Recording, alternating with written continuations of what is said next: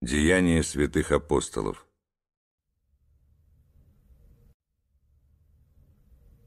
Тогда Павел, взяв тех мужей и очистившись с ними, в следующий день вошел в храм и объявил окончание дней очищения, когда должно быть принесено за каждого из них приношение. Когда же семь дней оканчивались, тогда осийские иудеи, увидевшие его в храме, возмутили весь народ – и наложили на него руки, крича, «Мужи израильские, помогите! Этот человек всех повсюду учит против народа и закона и места сего. Притом и Еленов ввел в храм и осквернил святое место сие. Ибо перед тем они видели с ним в городе Трофима Ефесянина и думали, что Павел его ввел в храм. Весь город пришел в движение, и сделалось стечение народа, и, схвативши Павла, повлекли его вон из храма, и тотчас заперты были двери. Когда же они хотели убить его, до тысяченачальника полка дошла весть, что весь Иерусалим возмутился. Он, тотчас взяв воинов и сотников, устремился на них. Они же, увидевши тысяченачальника и воинов, перестали бить Павла.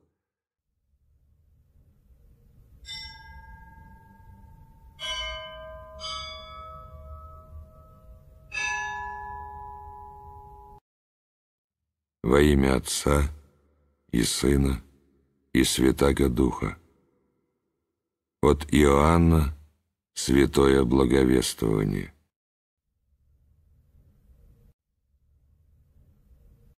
Изгонят вас из синагог. Даже наступает время, когда всякий, убивающий вас, будет думать, что он тем служит Богу. Так будут поступать, потому что не познали ни отца, ни меня. Но я сказал вам сие для того, чтобы вы, когда придет то время, вспомнили, что я сказывал вам о том. Не говорил же сего вам сначала, потому что был с вами.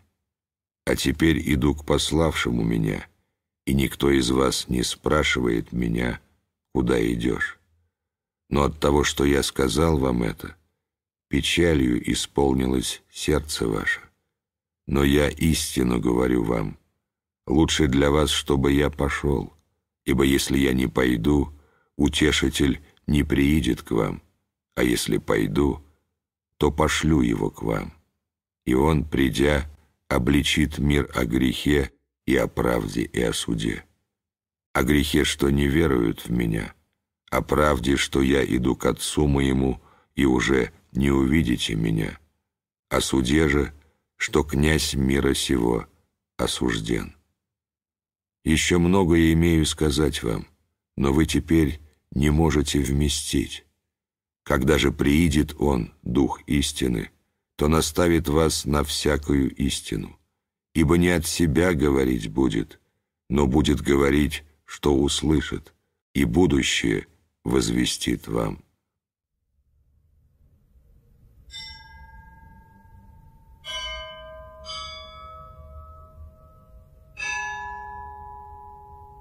От сонмищ и жденут вы.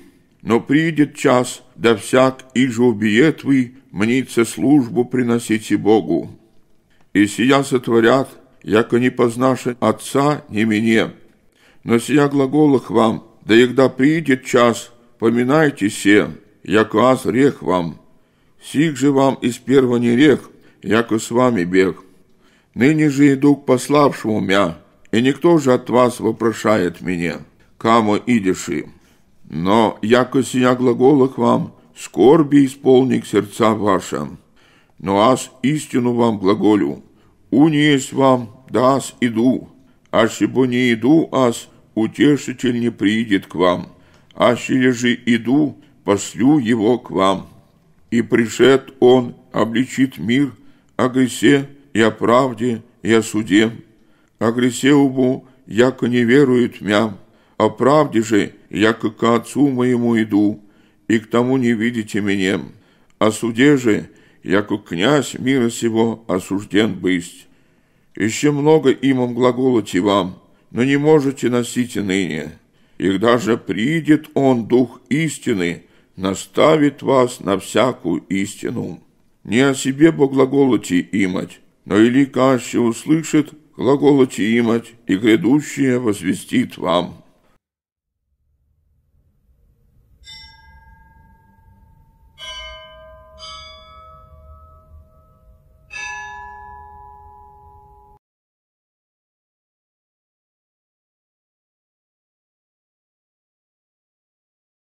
Велика сила печали.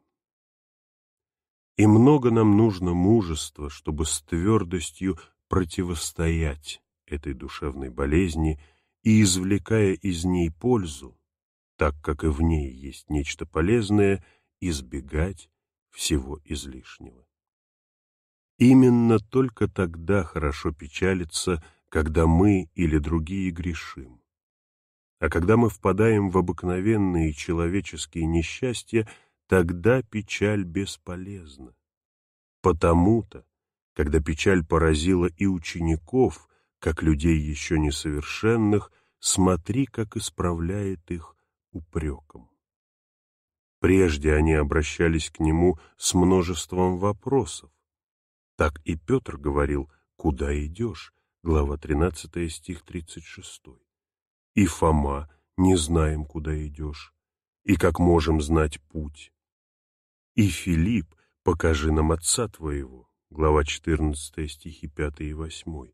А теперь, услышав, что изгонят вас из синагог, что возненавидят вас, Евангелие от Луки, глава 6 стих 22, и что всякий, убивающий вас, будет думать, что он тем служит Богу, Евангелие от Иоанна, глава 16, стих 2, так пали духом, что даже объяты были немотою и уже ничего ему не говорят.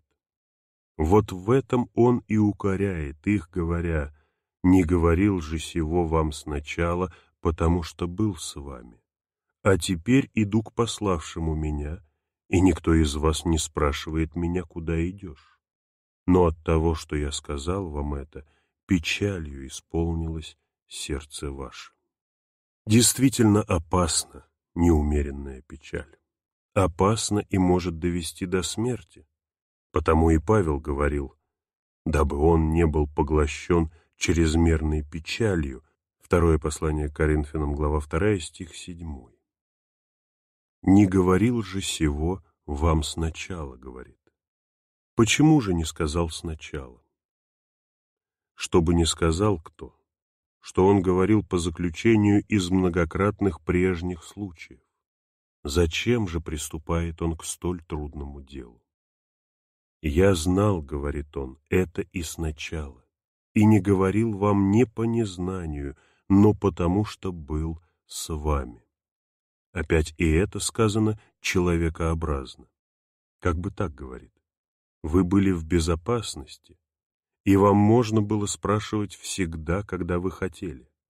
Вся война воздвигнута была против меня, и потому излишне было говорить об этом сначала. Но уже ли действительно он этого не говорил? Не сказал ли он, призвав двенадцать учеников, «Поведут вас к правителям и царям за меня, и в синагогах своих будут бить вас»? Евангелие от Матфея, глава 10, стихи 18 и 17. Как же теперь говорит, не говорил сначала? Тогда он предсказывал только удары и видения на суд, а не то, что их смерть будет казаться столь вожделенную, что убиение их станут даже считать за служение Богу. А между тем это особенно и могло устрашить их, что их будут судить как нечестивцев и людей вредных. К этому нужно прибавить и то, что там он говорил о страданиях, которые они должны были претерпеть от язычников, а здесь с особенную силою сказал еще и о гонениях иудейских, и показал, что они уже при дверях. А теперь иду к пославшему меня, и никто из вас не спрашивает меня, куда идешь но от того, что я сказал вам это, печалью исполнилось сердце ваше. Немалое они получили и отсюда утешение, узнав, что ему известна чрезмерность их скорби. Они были в крайнем смущении от страха разлуки с ним и от ожидания имеющих постигнуть их бедствий, так как не знали, будут ли в силах мужественно перенести их. Но почему он не сказал им об этом после, когда они уже удостоились духа? Чтобы ты знал, что они были весьма добродетельны. Если, не удостоившись еще духа, они не отпали, несмотря на то, что погружены были в скорбь, то подумай, какими имели быть они, сподобившись благодати. Если бы они тогда услышали и перенесли, мы все приписали бы духу, а теперь это всецело плод их души и ясное доказательство любви ко Христу, проистекавшей из одного их сердца. Но я истину говорю вам. Стих седьмой. Смотри, как он опять утешает их. Не то, говорит, я возвещаю вам, что приятно для вас. Но хотя вы и крайне печалитесь, однако надобно выслушать полезное. Вам хотелось бы, чтобы я остался, но полезно иное.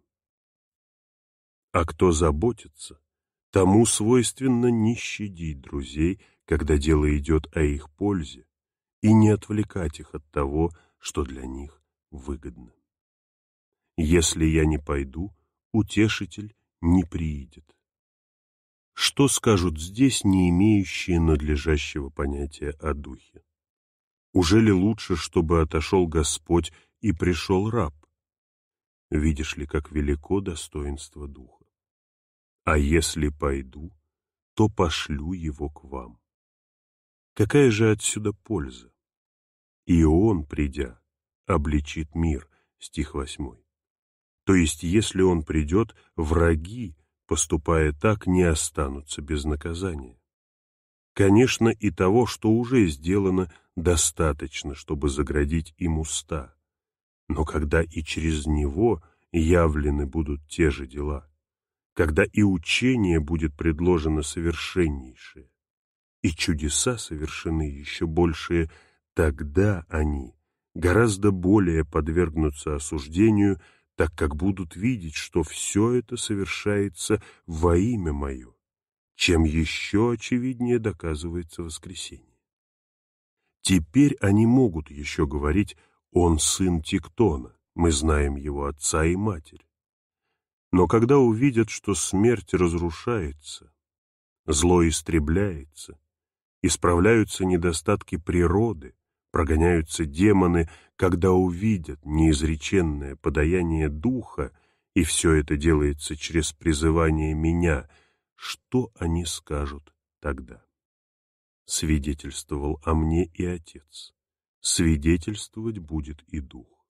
Он уже свидетельствовал и в начале, но будет свидетельствовать и теперь.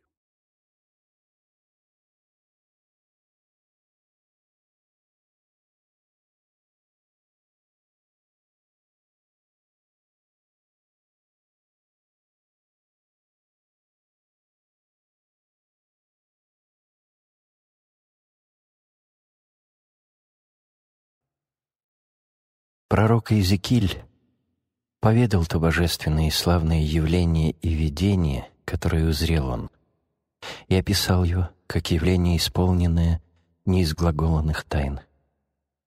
Видел же он на поле херувимскую колесницу, четырех духовных животных. У каждого животного было четыре лица. Одно лицо львиное, другое лицо орлиное, еще лицо телячье, и лицо человеческое. И у каждого лица были крыла, так что ни у одного невозможно было различить, где передняя или задняя сторона. Плеща их исполнено были очес, и перси также полны очей, и не было места неисполненного очей. При каждом лице было по три колеса, как бы колесо в колесе, и в колесах был дух. И пророк видел как бы подобие человека, и подножие у него как бы сапфирное. Колесница эта, то есть херувимы и животные, носили на себе сидящего владыку. Куда не угодно было ему шествовать, животные всюду обращены были лицом. И пророк видел под крыльями херувимов как бы руку человечу, которая их поддерживала и носила. Истинно и несомненно было то, что видел пророк в восхищении, но оно указывало на иное, прообразовало нечто таинственное и божественное. Тайну подлинно сокровенную от родов, явленную же в последние времена в пришествии Христова. Пророк созерцал тайну души, имеющей принять Господа своего и сделаться престолом славы Его. Ибо душа, которую Дух, уготовавший ее в и обитель себе, сподобил приобщиться света Его и осиял красотою неизреченной славы Своей, делается вся светом, вся ликом, вся оком. Нет у нее ни одной части, не исполненной духовных очей света, то есть нет в ней ничего омраченного, но вся она всецело сделана светом и духом, вся исполнена очей и не имеет никакой последней или задней стороны, но отовсюду представляется ликом, потому что снизошла на нее и восседает на ней неизреченная красота славы света Христа. И как солнце везде себе подобно, нет у него ни последней или недостаточной части — но состоя из частей одинаковых, все оно всецело блистает светом, и все есть свет, или как огонь, то есть самый свет огня. Весь сам себе подобен и не имеет в себе первого или последнего, или большего, или меньшего, так и душа, совершенно осиянная неизреченную красотою славы света от лица Христова и совершенно вступившая в общение с Духом Святым, исподобившая состать жилищем и престолом Божиим, делается вся оком, вся светом, вся ликом, вся славою, вся духом, как уготовил, благоустроил и украсил ее духовной лепотою Христос, который носит и вводит, и поддерживает, и подъемлет ее. Ибо сказано, что рука человеча была под херувимами. Сам Христос и носим бывает душою и водит ее. Четыре животные, носящие колесницу, представляли собою образ владычественных, умственных сил души. Как орел царствует над птицами, лев над дикими зверями, вол над кроткими животными, а человек над всеми тварями. Так и в душе есть более царственные силы умственные, то есть воля, совесть, ум и сила любви. Ими управляется душевная колесница, в них почивает Бог. А по иному способу объяснения, разумеется, это о небесной церкви святых. И как там пророк говорит о животных, что высота их была чрезмерна, что они исполнены очей, и что никому невозможно было объять число очей или высоту, потому что не дано ведение об этом. Как звезды на небе всякому человеку дано видеть и дивиться ими. Узнать же число их ни одному невозможно. Таким же образом, в небесную церковь святых войти и наслаждаться в ней дано всем желающим подвязаться, но узнать и объять число святых, сие принадлежит единому Богу. Сидящий на колеснице и престоле упомянутых животных или в каждой душе, сделавшейся престолом и седалищем его, ставший оком и светом, шествует и носится, восседая на ней, правя браздами духа и направляя ее, как сам знает. Как духовные животные шествовали никуда сами хотели идти, но куда знал и хотел сидящий на них и направляющий их, так и здесь сам правит и водит, указывая путь духом своим. Таким образом, не по своей воле, когда хотят, возносятся души на небеса, но Бог направляет душу, свергнув тело, стремиться мыслью на небеса, и опять, когда угодно Ему, ходит она во плоти и в помыслах, а по Его же воле переходит к пределам земли, и Он показывает ей откровение тайн. О подлинно, превосходный, благой, единый и истинный браздодержец! Так если душа предпрославлена ныне и вступила в единение с Духом, то и тела сподобятся части в воскресенье.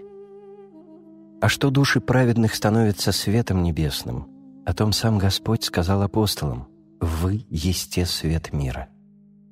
Сам, сделав их светом, повелел, чтобы через них просвещался мир, и говорит, «Ниже вжигают светильника и поставляют под спудом, но на свечнице, и светит всем, и же в храме не суть. Тако да просветится свет ваш пред человеки.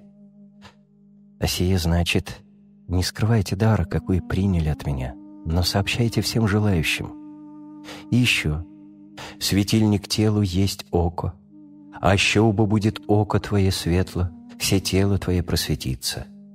А же еже око твое лукаво, все тело твое темно будет. А щеубо свет, и же в тебе тьма есть, то тьма кальми. Как очи — суть света для тела, и когда они здоровы, все тело освещено, и когда попадает что в очи, и они омрачаются, тогда все тело бывает во тьме, так и апостолы поставлены очами и светом для целого мира. Поэтому Господь, заповедуя им, сказал, «Если вы, будучи светом для мира, устоите и не совратитесь, то просвещено будет все тело мира. А если вы света мира омрачитесь, то тьма, то есть мир кальми. Итак, апостолы, став светом, послужили светом для веровавших, просветив сердца их тем небесным светом Духа, которым просвещены были сами, которые совлекли с себя человека ветхого и земного — из которых Иисус совлек одежды царства тьмы, те облеклись в нового и небесного человека Иисуса Христа. И Господь облек их в одеяние царства неизреченного света, в одеяние веры, надежды, любви, радости, мира, милосердия, благости. А подобные все прочие божественные животворные деяния света — жизнь, неизглаголанного упокоения, чтобы как Бог есть любовь, радость, мир, благость, милосердие, так и новый человек сделался сим по благодати.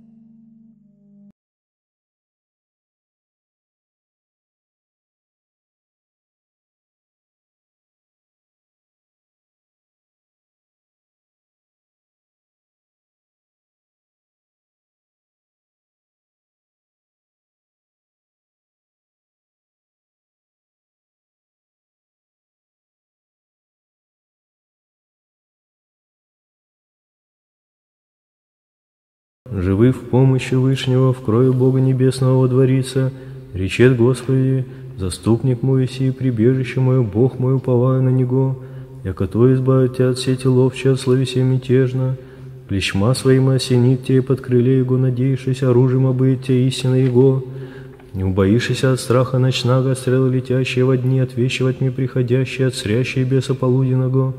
Падет страны твоей тысяча, и тьма десную тебе, к тебе же не приближится, Обаче очима Твоим смотришь, и воздаяние грешников узришь, яку Ты, Господи, упование мое вышнего положилось и прибежище Твое. Не приид к Тебе злой рано не приближится телеси Твоему, яко ангелом Своим заповесю Тебе сохранить Тебя во всех путях Твоих. На руках возьмут Тебя, да никогда приткнешь о камень ногу Твою. На аспида и Василийска наступишь и поперешь льва и змея, яко на мя уповая избавляю покрыв, яко познай имя Мое. Возовет ко мне, услышу Его, с ним и в скорби изму Его, и прославлю Его, долготою дней исполню Его, явлю Ему спасение мое. Возведу очи мои в горы, отнюдь же приедет помощь моя, помощь моя от Господа, сотворшего небо и землю. Не дашь во смятение ноги твоей, ниже воздремлет, храняй тебя, все не воздремлет, ниже уснет, храня Израиля. Господь сохранит тебя, Господь покров твой на руку десную твою, во дни солнца не ожет тебе, ни луна ночью, Господь сохранит тебя от всякого зла, сохранит душу твою, Господь. Господь сохранит вхождение твое, исхождение твое отныне и до века. Отче наш, и же и на небесех, да светится имя Твое, да приедет царствие Твое, да будет воля Твоя, яко на небесе и на земли. Хлеб наш насущный дашь нам днесь, и остави нам долги наши, як уже и мы оставляем должником нашим. И не веди нас в искушение, но избави нас от лукавого. Господи, дай мне с душевным спокойствием встретить все, что принесет мне наступающий день. Дай мне всецело предаться воле Твоей святой. На всякий час сего дня во всем наставь и поддержи меня. Какие бы я ни получал известия в течение дня, научи меня принять их со спокойной душою и твердым убеждением, что на все святая воля Твоя. Во всех словах и делах моих руководи моими мыслями и чувствами. Во всех непредвиденных случаях не дай мне забыть, что все неспослано Тобой. Научи меня прямо и разумно действовать с каждым ближним моим, никого не смущая и не огорчая. Господи, дай мне силу перенести утомление наступающего дня и все события в течение дня. Руководи моей волею и научи меня молиться, верить, надеяться, терпеть, прощать и любить. Аминь.